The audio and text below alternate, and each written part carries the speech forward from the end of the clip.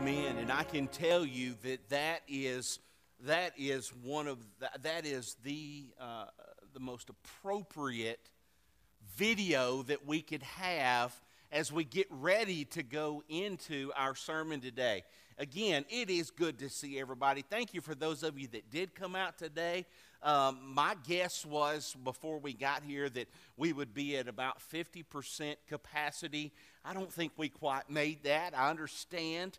Um, but it is good to see everybody. Right now, we are actually trying something a little bit different. We are Facebook Live, and so uh, don't worry about Michaela down here. She's not just taking pictures. She, uh, we're, we're trying to, uh, to Facebook Live. In addition, we will uh, we will be putting the, uh, the recording of this service uh, up on our web page as quickly this afternoon as we can. So, but it is good to see everybody. Thank you for being here today. If you're a guest with us, you have absolutely blessed our heart by being here today.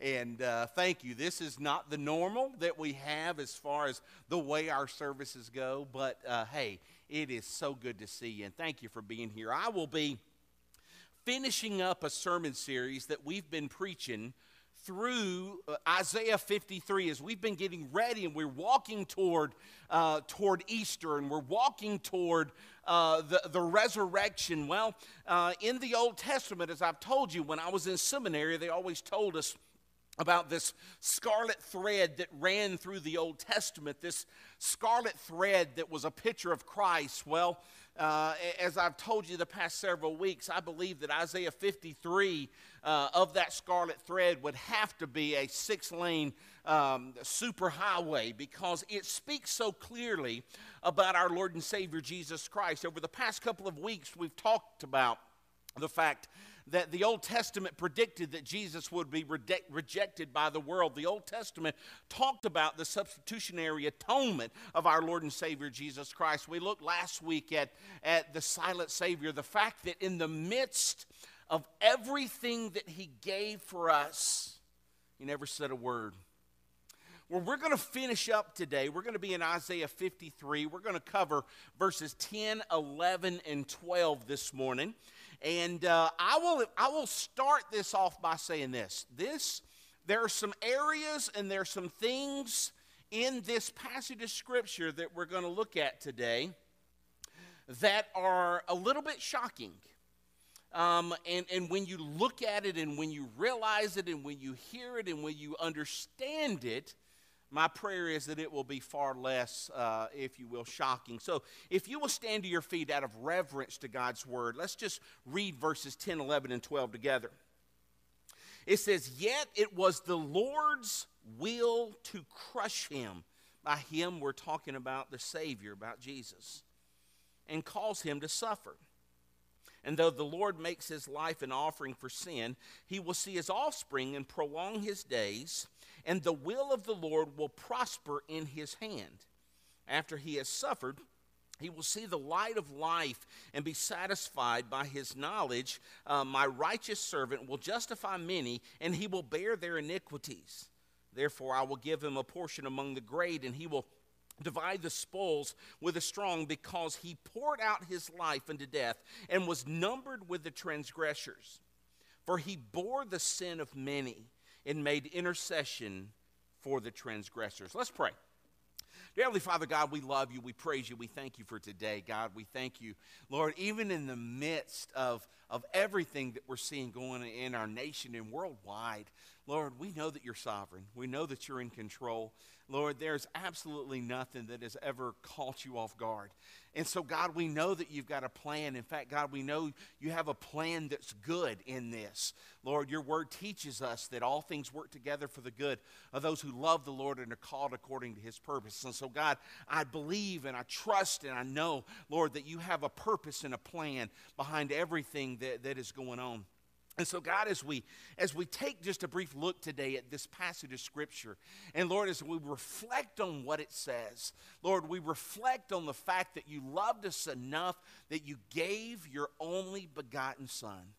God, it's my prayer today that we will not leave this place the same, but God, that we will be challenged and we'll be changed in and through you. So, God, you be glorified through everything that we do, everything that we say. And we pray this in the precious and holy name of your Son, Jesus. Amen. Amen. You may be seated. I want us to really jump into this passage of Scripture. And there's some things at the beginning of this, in verse 10 especially, that uh, are kind of interesting that I want us to draw to. Let me, let me read verse 10 to you, and then let's talk about it, okay? It says, Yet it was the Lord's will to crush him and cause him, it says, to suffer. Some of your translations are going to say this they're going to say that it pleased the Lord to crush the Messiah. Now, it's kind of an interesting word. The, the word from the, from the uh, Hebrew language, excuse me, is the word kophetz. And, what this word literally means is to take delight in. Now, in light of that, let's look at what this verse says again. It says, Yet it was the Lord's will. Yet the Lord took delight in crushing the Messiah. Now, you see why it's kind of interesting to think about. It's kind of interesting to talk about. Now, let me be the first one to tell you that, that the Lord's delight was not in killing Jesus. The Lord's delight was not, the Lord's delight was in the fact that you and I were separated from God eternally, and his delight was in the fact that that gap was bridged through Jesus Christ. But it's very hard for us sometimes for us to realize, it's kind of hard for us to even think about how God would delight in the crushing of the Savior until you figure out that Jesus said of himself that he drew delight in the fact that he would be crucified. That Jesus drew joy from that. You say, well, where does that happen? Hebrews 12, 1 and 2. It's a passage of scripture, a couple of verses that are just wonderful to mind, but I want you to hear it. It says, Therefore, since we are surrounded by such a great cloud of witnesses, it says, Let us cast off everything that hinders and the sin that so easily entangles us, and let us run with perseverance the race that is marked before us. And then it says this I'm going to start over. It says, Therefore, since we are surrounded by such a great cloud of witnesses, let us cast off everything that hinders and the sin that so easily entangles us, and let us run with perseverance the race that is marked before us. And then it says, fixing our eyes on Jesus, the author and perfecter of our faith. And here's the part that I want you to get who for the joy set before him endured the cross, scorned its shame, and sat down at the right hand of God. What the Old Testament said that God found delight in, the New Testament says that Jesus, our Savior, the Messiah, found joy in. Now, I don't understand that. My brain can't wrap around that fact. But I can tell you this Jesus died willingly for your sin. Why? Well, several verses in scripture give us the word uh, the reason. John 3:16 tells us for God so loved. Romans 5:8 says God demonstrated this love. And that while we were yet sinners, that Jesus, the Messiah, died for us. And I want you to understand that from, from Romans, uh, uh, I mean, from Hebrews 12, 1 and 2, it reminds us that He died for us, and it was His joy to be able to take our sin, to take our pain, to take our punishment. Why? Because He loves you that much. God loves you with an everlasting love. The delight of the cross, the delight of the fact that your sin was covered, the delight of the fact that what separated you and I from a holy God was no more. Tetelestai, it is finished. The separation between God and man, sin, was done. The delight of the cross. What was this delight? Well, I can tell you that the delight of the cross was not the death of Jesus, it was the conquering of sin. Notice what it says in the last part of verse 10. It says, Yet it was the Lord's will, of the Lord's delight to crush him and cause him to suffer. And though the Lord makes his life an offering for sin, he will see, look at this part, he will see his offspring and prolong his days. You notice what the delight was? The delight was in you and I, the offspring. The delight was in the fact that you and I could trust in a holy Savior and call upon God's name for forgiveness and for salvation. And the scripture says that at that moment you go from being an enemy of God to being a child of the King of Kings and the Lord of Lords. Now, I don't know about you, but I praise God that He delights in the fact that I'm His child.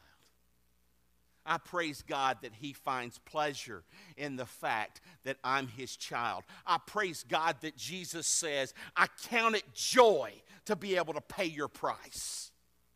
What an awesome Savior we serve.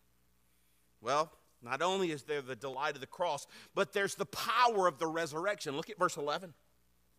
It says, After he has suffered, he will see the light of life and be satisfied by his knowledge. My righteous servant will justify many, and he will bear their iniquities. I love that part. After he has suffered, it says, He will see the light of life and be satisfied. Folks, we're just a few weeks away from Easter. Easter comes uh, just uh, just in a few weeks away, and we're uh, I'm looking forward to our uh, cantata, our musical, uh, Bow on My Knees. I am, there's, uh, other than maybe Jonathan, okay, there's nobody more sick of the fact that we're going to be postponing that for a couple of weeks. But again, I believe God is in control. I believe that God has a purpose and plan in this. And I believe, Jonathan, that God's going to use this in a way, and I believe people are going to be saved, okay? But, but the greatest joy that I can ever share with you is the fact that on the third day, as the ladies were going to the old tomb and, they were there, they were going expecting to find Jesus wrapped in the midst of that tomb. And when they got there, folks, I want to tell you, there's all kinds of things that said they found. They found the rock rolled away. It said, uh, but, but can I just tell you the greatest thing they found? They, they found that Jesus was not there. The ladies ran, and they ran to get the disciples, they ran to get Peter and John. Peter and John took off running to the tomb. John was faster than Peter, it says. He got there first, but he got there first and he was just standing on the outside of the tomb looking in. John may have been faster, Peter was more bold. Peter runs right past John, runs into the midst of the tomb. And it says that Jesus was not there. It's a fantastic picture. People, people have asked me, I, I was reading some things uh, and watching some things, and, and um, you know, there's, there's these various people and YouTube artists and all of that who, who, uh, who claim that uh, they, they once knew the Lord and now they've come to light. I watched a, uh, a video of somebody on how they deconstructed their faith and they no longer believe in Christ anymore and and uh, and all of this type stuff and and uh, um, the uh, the reason that one of them said was they just couldn't grasp themselves around the resurrection. They couldn't grasp the fact that Jesus really died and really came back to life. Well, can I tell you something, folks? Every bit of our faith hinges on the truth. And it's an absolute truth. In a world that doesn't want absolute truths, it is an absolute truth. The every bit of our faith hinges on the fact that Jesus Christ rose from the dead. There's no question about that. The Old Testament even foretold it. This was some seven, eight hundred years before Jesus.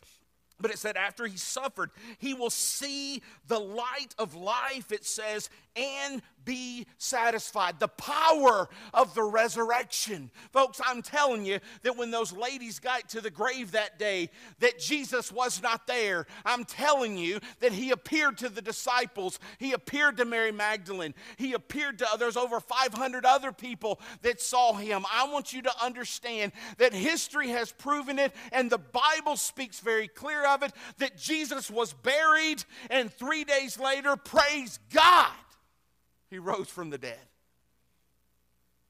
And where the death of Christ gave us forgiveness, like we talked about last week, and like we looked at in this first verse, or in verse 10, where the death of Christ brought us forgiveness, the resurrection of Christ brings us victory. What do you mean? Well, can I tell you something really cool? I'm sweating like crazy up here, by the way. Can I tell you something really great? Remember when I told you how Peter and John ran to the tomb and John stood on the outside looking and Peter ran in? Well, it tells us that they found something very interesting there. It says that they went in and they did not find Jesus, but what they found was that his grave clothes were still there. And then it says they found his grave clothes, and then it says something really cool. It says that the head wrapping, which was called the napkin, it says that the napkin was folded and laid to the side. There's a Jewish tradition. We carry on that tradition today, by the way. It's a Jewish tradition that when you're at the table, if you are finished with your meal, you wad up your napkin and you place it there. That says, I'm done.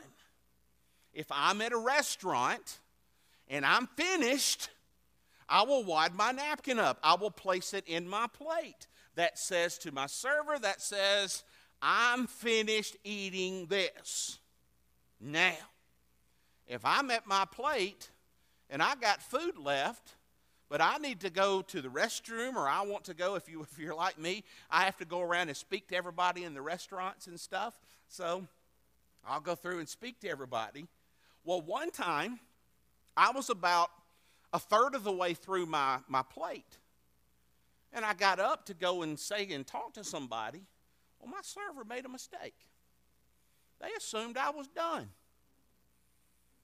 Now you can look at me. Don't laugh at that. You can look at me and you can tell, listen, I I work at my my meal plate like Picasso used to work in oils. I mean, it's a masterpiece, you know? And I came back and my plate was gone. And I said to my server, I said, What made you think my plate was done? Because my napkin wasn't folded up. My napkin wasn't thrown in the middle of that. Well, the Jewish tradition was this if you were finished, you wadded your napkin up. If you were not finished, you would fold it up and set it to the side. Same thing we do today. We fold it up, set it to the side, and that is a sign to our server I'm coming back. Please don't take this. Uh, let's put that into perspective. Peter and John run into the tomb and they look and they find the grave closed there, but no Jesus. But it says, and it, and it makes a note to tell us that the napkin that Jesus had wrapped around his head was folded and set gently in place over to the side. Why? Because the resurrection not only meant that Jesus was alive, but the resurrection offers you and I eternal life. Can I tell you something great? There's going to come a day. Could it be getting closer? I don't know. Yeah. I mean, the world is going through unprecedented things right now. But there's going to come a day when the eastern sky is going to split wide open. And Jesus is going to say to me, Come on, come home. I was in line. I, I, was over at Dollar General the other day and got to talking to a couple of ladies there, and we were just we were just having a good time. We were talking. There was about 200 other people in there trying to get stuff. I just wanted a Mountain Dew. I'm being honest, okay? A diet one, okay? I got me a diet Mountain Dew. And I had a few other little things there, but we were sitting and talking, and uh, and that lady was talking about how crazy the world had gotten and how all this hysteria and everything's going. And and I looked at her and I said, you know, imagine what it's going to be like when the when the church raptures. And she looked at me and she said, well, I won't have to worry about it. I won't be here. And I said, Well, I'm, I'm not going to be either. I said, But here's the deal what if I'm driving down the interstate? My truck, I'm, my truck's not going to have a driver anymore. You know, and, and, and these type things the hysteria that's going to take. Folks, there's going to come a day when the eastern sky is going to split wide open, and, and with a trumpet call of God and with a voice, it says, of the archangel, he's going to say, Come home, and forever and ever and ever and ever, because my Savior resurrected from the grave, forever and ever I will spend eternity with him. Praise God. And I can't wait for that moment. But there's a third thing, verse 12. There's the delight of the cross, the power of the resurrection. But verse 12 tells us there is a promise of forgiveness. Look at it. He says, Therefore, I will give him a portion among the great, and he will divide the spoils with the strong, because he poured out his life unto death and was numbered with the transgressors, for he bore the sin of many and made intercession for the transgressors. Praise God for forgiveness. For all have sinned and come short of God's glory. That's you, that's me, that's every one of us. Jonathan, you guys come on back up and begin to play. For all have sinned and come short of God's glory.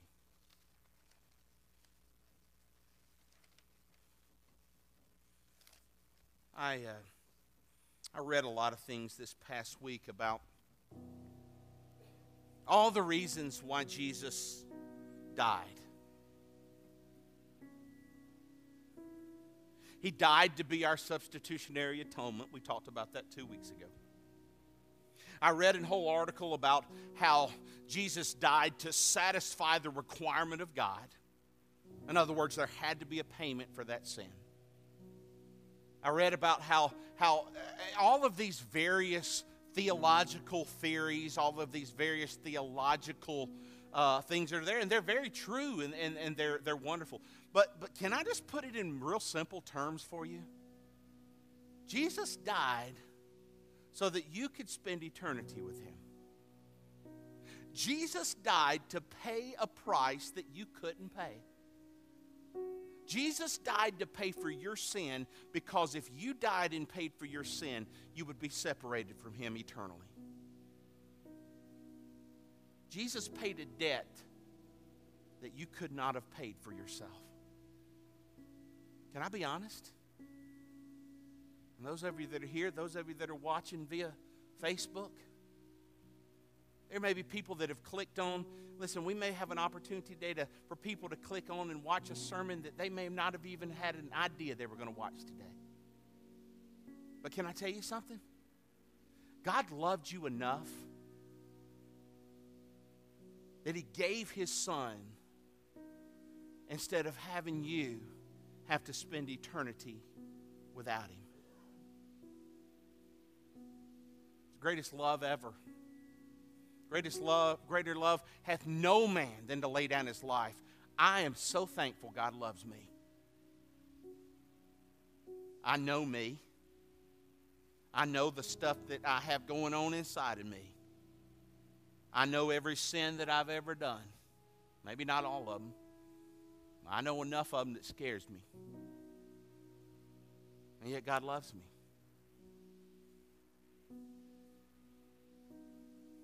Each of us have a debt. And I'll be honest, I don't want to know what your debt is. And I don't really want you to know what my debt was. My debt's probably bigger than many of yours. Sin after sin after sin after sin after sin after sin.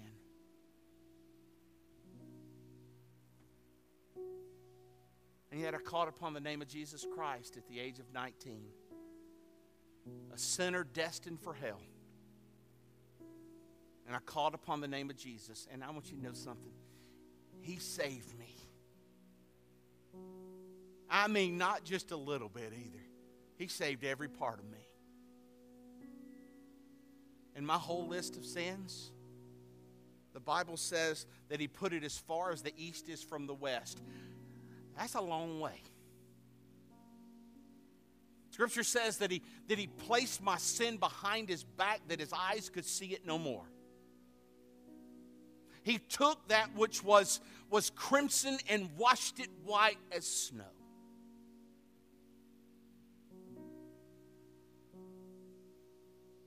He did that for you. But can I tell you something? Can I be honest today? That's not automatic. You say, what do you mean? You see, you have the opportunity to either accept the gift of salvation or to say, I don't want it. I reject it. And more people will reject it than we're actually going to accept it. That's what the Bible says. Broad's the road. Broad's the road that leads to destruction. Many find it. Narrow's the path that leads to righteousness. And so I want to ask you an honest question today. Our crowd here, probably a third what it normally is. But I want to ask you today, and if you're watching at home, I want to ask you today if you died right now, do you know beyond a doubt that you would spend eternity in heaven? There's only one way. Only one way, and it's through Jesus Christ. There's no other way. I, I, promise you. This world has tried to tell you there's every way and there's every way possible. Yeah, I'm telling you that there is no other way. Jesus said in John 14, 6, I'm the way, I'm the truth, I'm the life. No man comes to the Father except by me. That eliminates everyone else but Christ. So you can't be good enough to get there. You can't work hard enough to get there. You can't come to church enough times to get there. You can't sing in the choir enough to get there. You can't listen to your Sunday school teacher enough to get there. But I'm telling you, there's, there's one way you can. And that's by saying to God, God, I'm a sinner, and there's nothing I can do to fix this. But I need you. Forgive me of my sin. Come into my life and save me. You say that, that sounds very simple. Oh, listen, it's not simple, and let me tell you why. Because Jesus paid an incredible price for you and I to be able to call upon Him. But you can trust Him today. Listen, we, the crowd may be low today, but I just can't help but believe there's not somebody in here today who, if you died, you're just not sure where you would spend your eternity. Can I tell you something? In the midst of a coronavirus outbreak, God will save you today. There's nothing that's stopping. Nothing. He loves you that much. He gave everything that you could ever give just so you could be saved. Maybe you're here right now. Maybe you're listening online.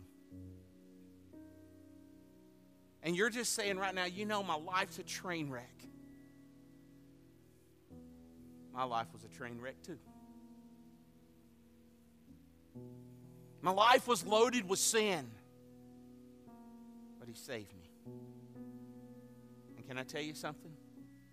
Regardless of where you're at right now, God will save you.